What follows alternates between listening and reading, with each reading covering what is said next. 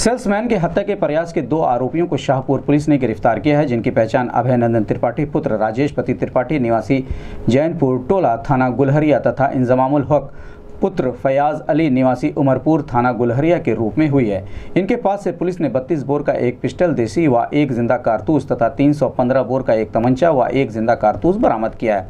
Police line सभागार में घटना का खुलासा करते हुए एसपी सिटी विनय कुमार सिंह ने बताया कि गिरफ़्तार अभियुक्तों में से एक पंद्रह हज़ार रुपये का इनामी है।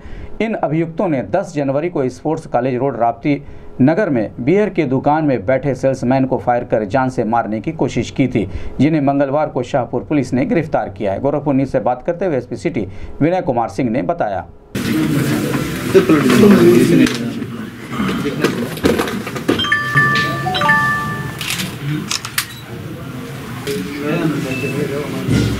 सर्विलांस टीम और थाना शाहपुर की टीम की संयुक्त कार्रवाई में एक पंद्रह हज़ार रुपये का इनामी बदमाश जो शातिर बदमाश है गिरफ़्तार किया गया है अपने साथी के साथ। इसने 10 जनवरी को थाना शाहपुर में स्पोर्ट्स कॉलेज के पास एक बियर की दुकान पे सेल्समैन को जान से मारने की नीयत से हवाई फायर भी किया था इसने और गोली बगल निकल गई थी। इसकी गिरफ्तारी के लिए एसएसपी महोदय ने नाम घोषित कर रखा था और ज़िले की तीनों टीमों ने संयुक्त कार्रवाई में गिरफ़्तार किया है। लूट भी किया था? नहीं लूट नहीं किया था। ये मनबड़ा काफ़ी गुंडा प्रवृत्ति के अपराधी हैं और जैसा अभी बताया गया है थाना शाहपुर और गुलरिया क्षेत्र में एक गैंग काम कर रही महमूद्दीन अंसारी गैंग उसी का ये सब सक्रिय सदस्य हैं।